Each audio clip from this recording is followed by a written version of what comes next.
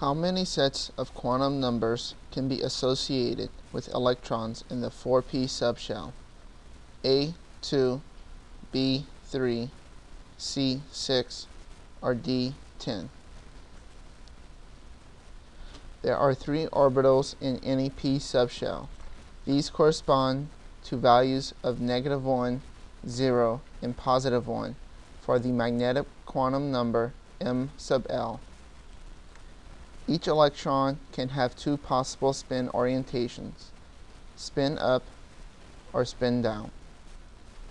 Therefore, there are six possible sets of quantum numbers for an electron in a 4p subshell. The correct answer is 6. Here are the six possibilities. Note that specifying the subshell is the same as specifying the principal quantum number n in the orbital quantum number L. For any electron in a 4p subshell, n is equal to 4 and L is equal to 1.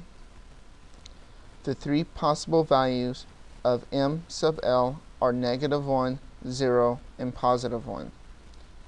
And for each of these cases, the spin quantum number can be positive 1 half or negative 1 half.